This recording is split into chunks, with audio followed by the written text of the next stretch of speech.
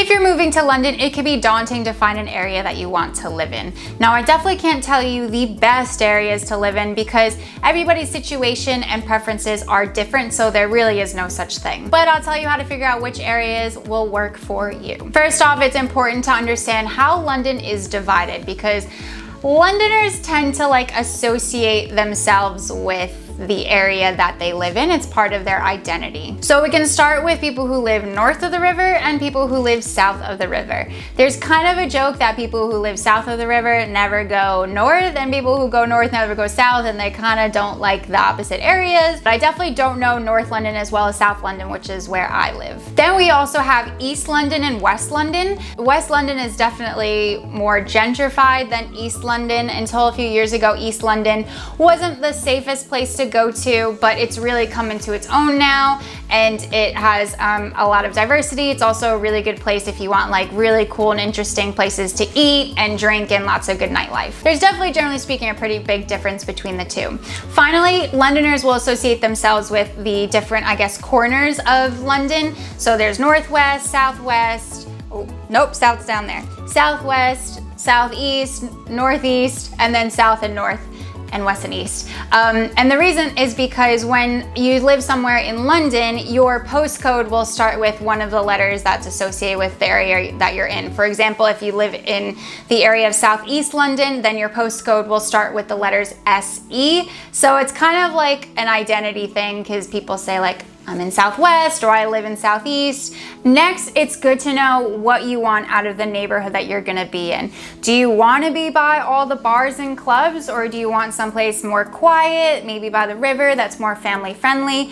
Knowing what you want out of that area is gonna really help you to narrow down what areas and neighborhoods are gonna work best for you. Before you set your heart on any areas, you need to know what your budget is for renting. My video about how much it costs to live in London will start to help you figure out how much you can afford. You can watch that by clicking the card popping up here. But generally speaking, the more central in London that you live, the more money that you're going to spend. So if you don't have a lot of money and you think you're gonna end up in Notting Hill or Covent Garden, sadly, that's probably not gonna happen. However, for most people, we can't afford to live there anyway, so you will not be alone. Okay, once you know your budget and the, what you want out of the area, you can use SpareRoom's Where to Live Wizard tool that will help you to figure out some areas that will work for you. All you do is input what your budget is and also what kind of characteristics you want out of the areas that you're living in and then it'll give you a nice list of places to check out. I've tested it myself and it did list a great amount of areas that I actually would really love to live in. Where will you be working? If you know where you're going to be commuting to every day, this is really important because this is going to affect which areas are gonna work best for you to live in because you will want to definitely take into account what your commute will be like. Most people don't really end up living too close to work, especially if you work in central London. It's probably gonna be too expensive for you to live near work. Even if you can't live super close, you can work out which areas are going to give you a shorter commute because you can afford to live close to a tube line or maybe there's like a specific tube line or a bus that will take you straight to work without too much effort and that's gonna be a good area for you to live in. For example, let's say you're going to work near Oxford Circus. Even if you end up living in Brixton,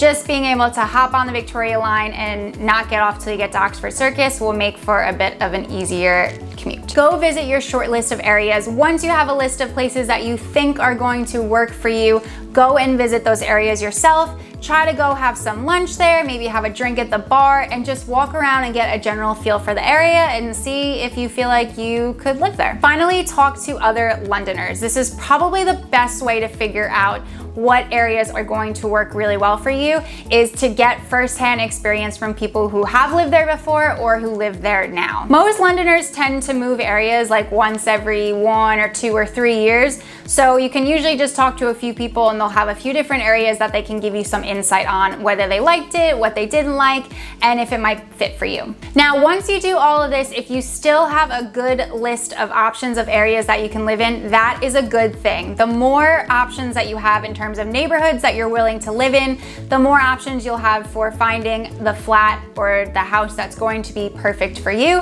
So keep your options open, be flexible, and give yourself time, and hopefully you will find a great place to live. I have a video about how to find a place to live in London. You can watch that by clicking up there. Which areas are you thinking of possibly living in? Let me know down in the comments.